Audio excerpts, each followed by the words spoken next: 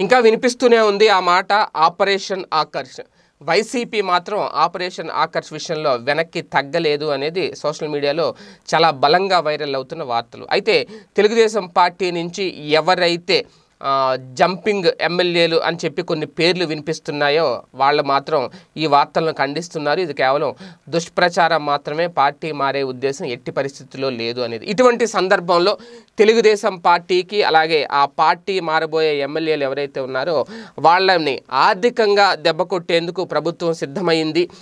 వాళ్ళ ఆయువు పట్టు మీద ఒక దెబ్బ తగలిపోతుంది తెలుగుదేశం పార్టీ ఆయువు పట్టుకే ఇది పెద్ద దెబ్బ కాబోతోంది అనేది ఇప్పుడు ప్రధానంగా సోషల్ మీడియాలో మరొక వార్త హల్చల్ చేస్తోంది. ఆ డీటెయిల్స్ ఏంటి అనేది ఒకసారి చూస్తే కనుక ఎమ్మెల్యేలకు ప్రధానంగా రాజకీయ నాయకులకు ఏదో ఒక బలమైన వ్యాపారం ఉంటుంది. ఆ వ్యాపారాలు నుంచే వచ్చే ఆ, అదనపు ఆదాయం ఏదైతే ఉందో దాది అది ఒక పెట్టుబడిగా మారుతుంది పార్టీకి.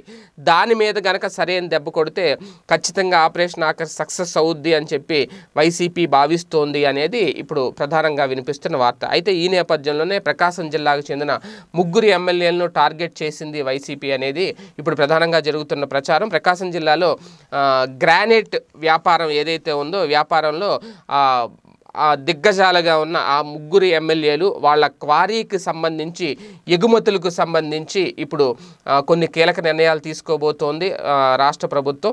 ఆ క్వారీ నుంచి అయ్యే ఎగుమతులు ఆల్రెడీ నిలిపివేసినట్లు ఇప్పుడు ఒక ప్రకటన చేయబోతుంది అనేది. మాజీ మంత్రి సిద్ధ రాఘవరావు అలాగే అద్దంకి ఎమ్మెల్యే గొట్టిపాటి రవికుమారు అలాగే కందుకూరు మాజీ ఎమ్మెల్యే పోతుల రామారావు క్వారీలో గ్రానైట్ విక్రయాలకు సంబంధించిన పర్మిట్లు నిలిపివేయబోతోంది ప్రభుత్వం అనేది. ఇప్పుడు సోషల్ మీడియాలో ప్రధానంగా వైరల్ అవుతున్న అంశం మరి అది ఎంతవరకు వాస్తవం అనేది ఇంకా తెలియదు. ప్రభుత్వం నుంచి అధికారికంగా ప్రకటన అయితే రాలేదు. అయితే ఈ మేరకు ఉత్తర్వులు కూడా జారీ కాబోతున్నాయి అనేది మాత్రం స్పష్టంగా అర్థమవుతుంది. ప్రభుత్వాల వర్గాల నుంచి వైసీపీ శ్రేణుల నుంచి అందుతున్న సమాచారం ప్రకారం చూసుకుంటే ఆ ముగ్గురు టీడీపీ ఎమ్మెల్యేలు ఎవరైతే ఉన్నారో వాళ్ళ క్వారీల్లో ఉత్పత్తి అయిన గ్రానైట్ ఎగుమతికి సంబంధించి ఇచ్చే పర్మిట్లను గనుల శాఖ నిలిపివేయబోతోంది.